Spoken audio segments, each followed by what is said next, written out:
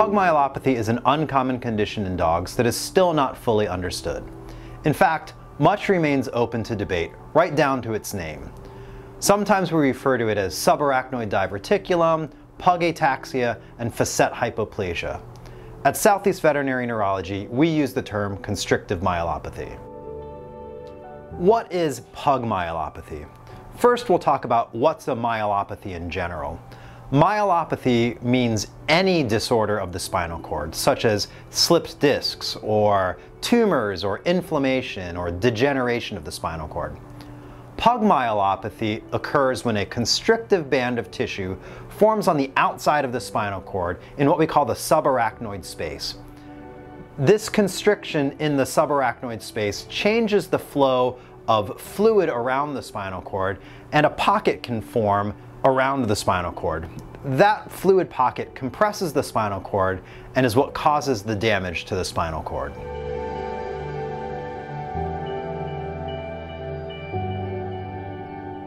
The job of the spinal cord is to transmit signals from your dog's brain down to the rear limbs and bring information from the rear limbs up to the brain.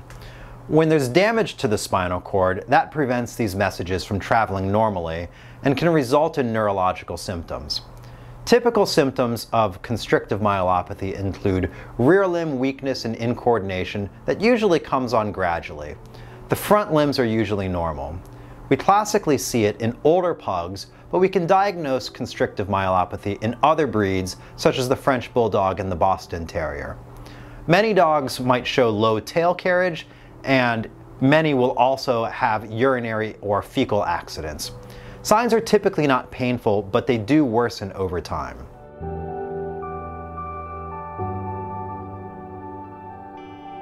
No one fully understands why this condition happens to pugs.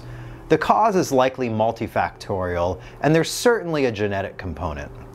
Many times these dogs have a malformation in the bones of their vertebral column, and this malformation leads to mild instability. The instability causes there to be chronic irritation to the spinal cord, and that can cause scar tissue to form. That's what forms that constrictive band. That constrictive band is what leads to the abnormal flow of CSF and the abnormalities within the spinal cord.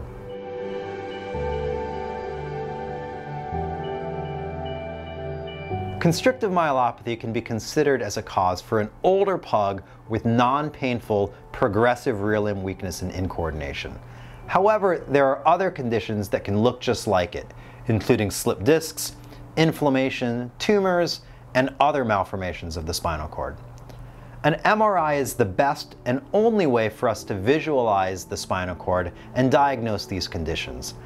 MRI can show the fluid pocket outside the spinal cord as well as the changes within it.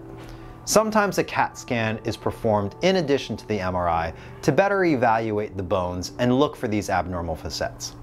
Typically, x-rays are not enough to fully evaluate for constrictive myelopathy.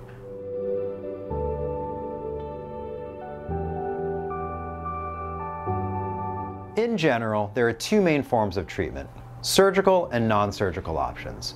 Surgery aims to alleviate the spinal cord compression by draining the fluid pocket, breaking down the scar tissue, and re-establishing normal CSF flow. Additionally, many neurologists stabilize the vertebral column. Non-surgical treatment involves physical therapy and medications to help decrease CSF production and help edema within the spinal cord. Studies have shown that dogs that are treated with surgery tend to have a better long-term outcome than those that are treated medically. This has certainly been our experience at Southeast Veterinary Neurology. If your dog is showing signs of rear limb weakness or incoordination, we recommend consultation with a neurologist. After evaluation, we can better assess the possible causes and recommend a course of action to determine the cause.